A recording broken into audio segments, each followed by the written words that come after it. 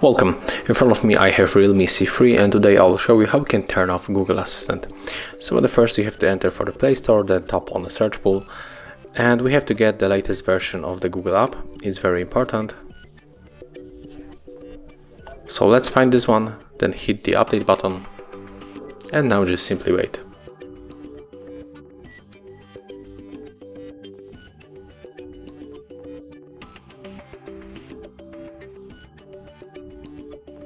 Okay, right now just simply open this application. Tap on more. Go for the settings. Click on the Google Assistant. Mm, then you have to scroll down and find the general settings. And when we are here, we have to simply tap on the switcher, then click the turn off. And as you can see, that's how we can make it. It was very easy. Thank you for watching, leave thumbs ups, comments and subscribe to our channel.